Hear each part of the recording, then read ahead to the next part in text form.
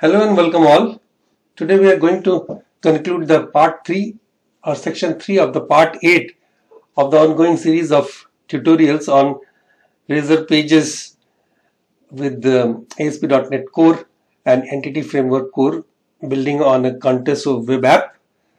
Now we will head straight into the Visual Studio and run the app. So Control F5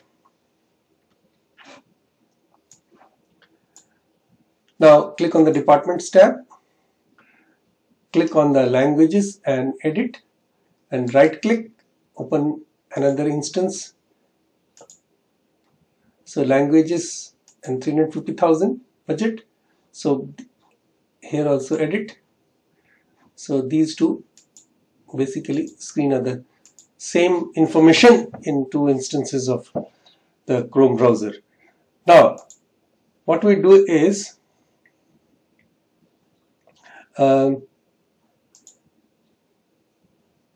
we will make this in the first one. Change the name in the first browser tab and click save.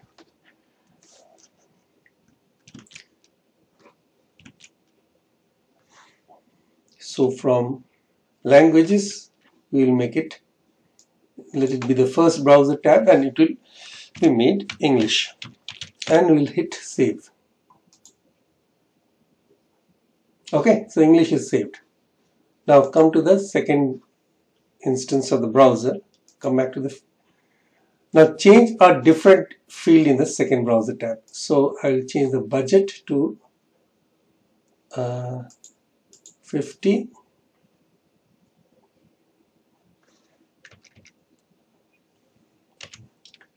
just for illustration. 500,000 and click on save. Now comes the magic. The record you attempted to edit was modified by another user after you. The edit operation was cancelled and the current values in the database has been displayed. If you still want to edit this record click the save button again. And we have got a uh,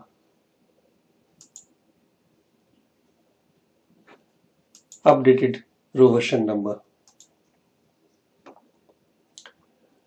So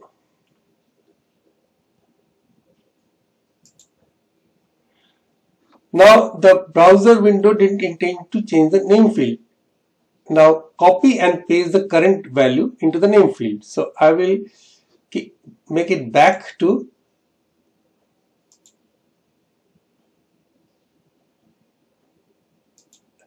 name. Say current value is English so I will make it English.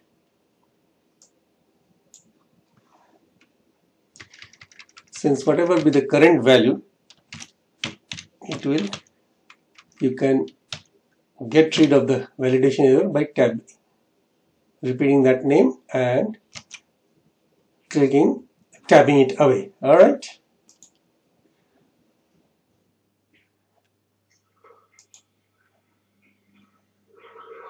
now save it. So this time it will be saved with English as 500,000 okay?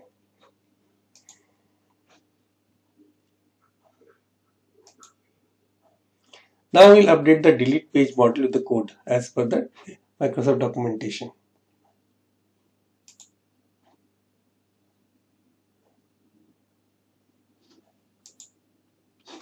So head straight back to the Visual Studio. Uh, delete. And then copy the code. Highlight everything and paste. And get it back to the Contoso university.model as you know again so we'll get rid of Contoso University to data dot data. So it will take it from Contoso University from models, which is the correct thing to do. Now there is a concurrency error message over here and uh, so this delete page detects concurrency conflicts when the entity has changed after it was fetched. The department.row version is the row version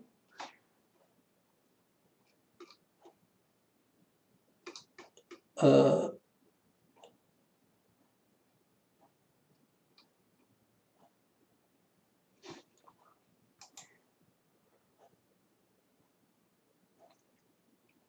when the entity was fetched, the department of row version was the row version when the entity was fetched.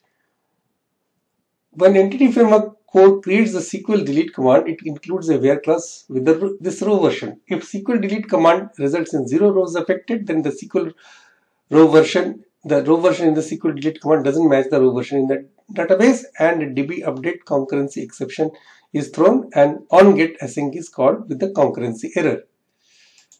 Okay, so we have to look for department dot row version. Department of dot row version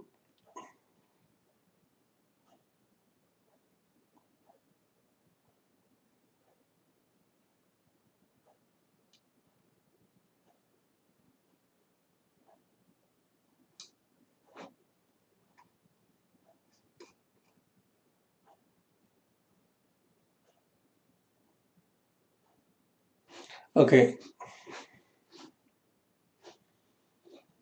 So delete.cshtml department.row version.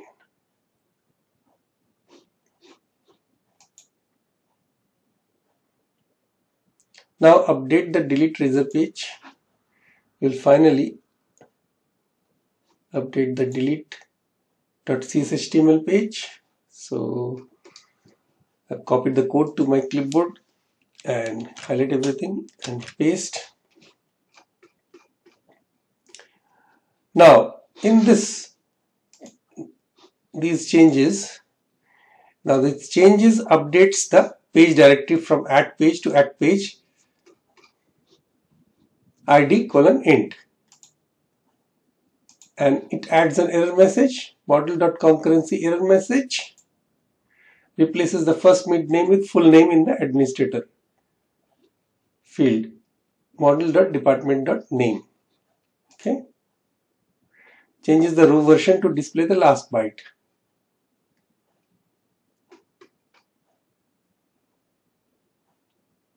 So model.department.row version 7 that is displaying the last byte of the row version. Adds a hidden row version this is the hidden field department.row version.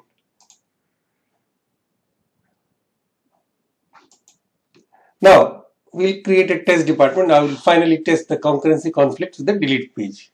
So we'll run that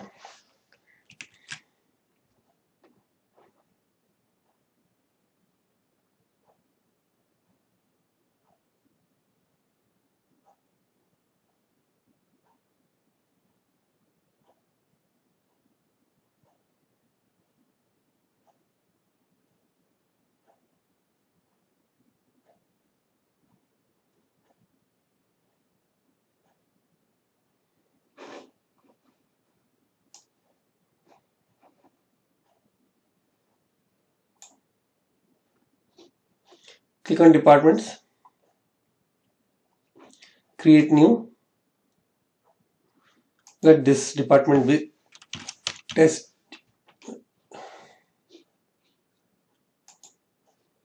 Sorry.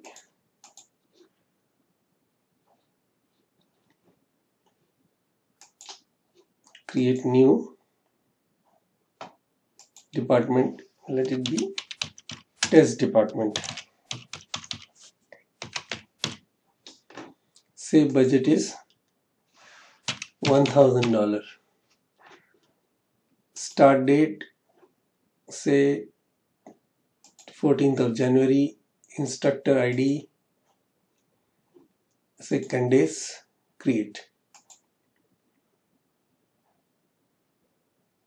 Alright this department is created. I'll close all the other browsers to test this. Now, the instruction to test this is open two browser instances of delete on the test department. Okay. The second one is open link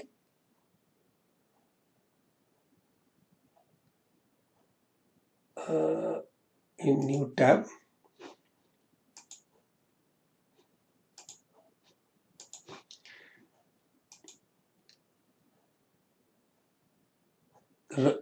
Run the app and select departments right click and delete the hyperlink for test department and select open in the new tab.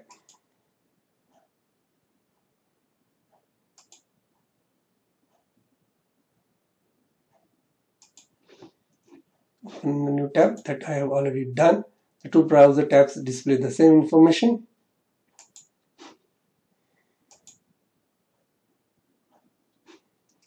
this and this.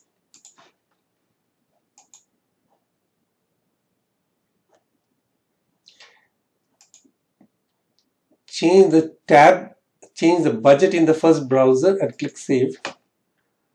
Okay.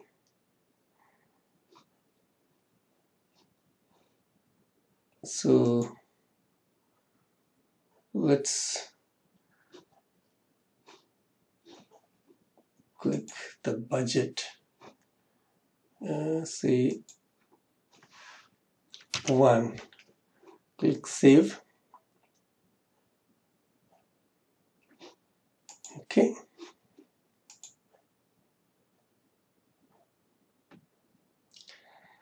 Now the browser shows the index page with the change value and updated row version indicator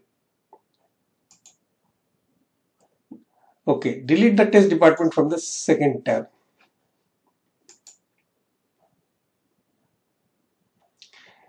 The record you attempted to delete was modified by another user after you selected delete. The delete operation was cancelled and the current value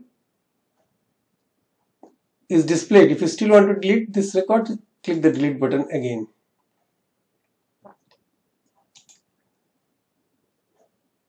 Row version is 146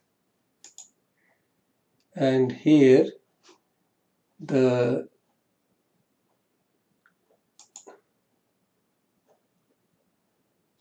yeah it shows the updated row version. So we can delete now from the second right?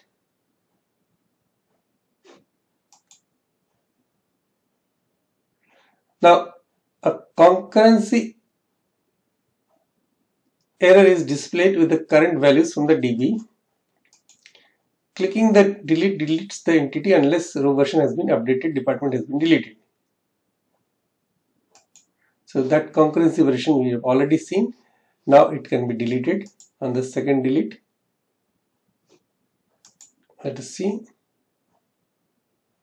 It has been deleted because it is earlier deleted from the other tab. Right. Thank you. Thanks for watching. If you like my series, click on like, put your comments and feedbacks and don't forget, forget to subscribe to the channel.